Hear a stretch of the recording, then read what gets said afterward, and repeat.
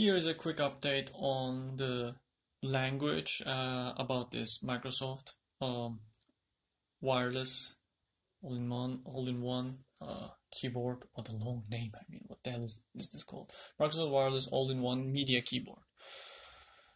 Good. Um, as I said, this was a Turkish keyboard, but the letters would not register it. Uh, I just noticed uh, there's something called language setting and I downloaded a second language as Turkish.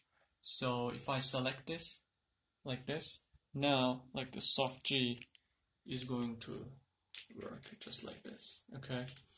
So I can basically switch between soft G or or uh, Turkish and English on the fly.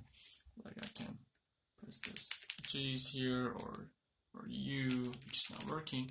The one thing is it all also affects my actual keyboard. So instead of, for example, uh, making the bracket, I am also making the soft G with this button uh, because uh, it applies to all keyboards. The language, the Windows keyboard setting changes.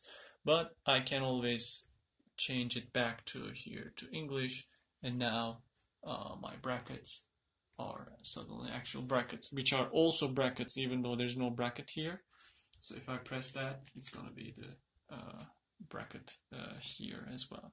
So it was important to do that and I managed to do that from the uh, language settings. So in the uh, settings home, uh, I never deal with this, but there's something called time and language and if you go to region and language there was only English before and then I clicked on add language and I added a language and that language is now Turkish.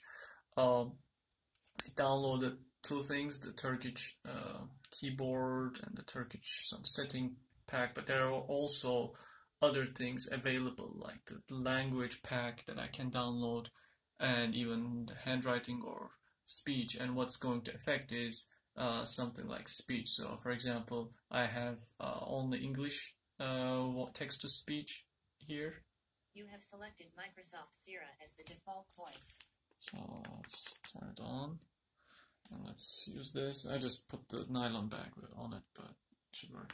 You have selected Microsoft Zira as the default voice. Yeah, but then if I were to download the Turkish language pack, probably it's gonna appear here. I didn't do it. I don't know if I will do it for the fun of it, but I also now cleared out that that that uh, important issue, uh, which is only uh, available uh, for the Turkish uh, version of it. So most of most of you who will order this as English uh, don't have to deal with this. But that was the only other issue remaining that was a question, and now I can use it as a Turkish keyboard, which is very important for Turkish emailing uh, and uh, communication because my Dell laptop, which was purchased in the United States, has the English keyboard, which is fine, everything, but uh, communicating uh, in Turkish, and I was having difficulty in my language.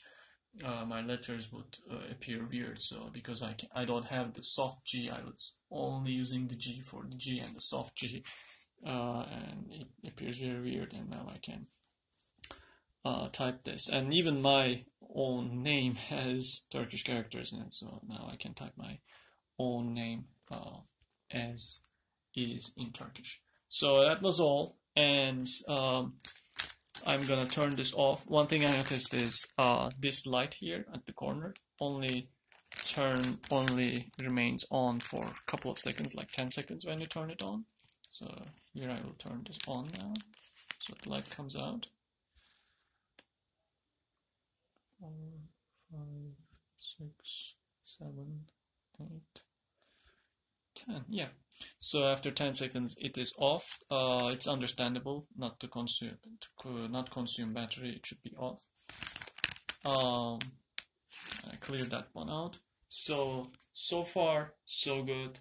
Uh, all my initial impressions uh, are uh, now uh, recorded, and most of them are positive other than the flimsiness and sometimes unresponsiveness or uh, quirkiness of this, which is, however, is not even perfect on my own touchpad.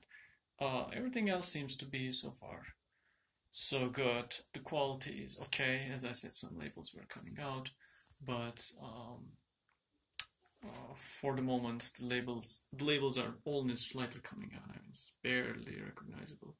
Uh, you might not even see it.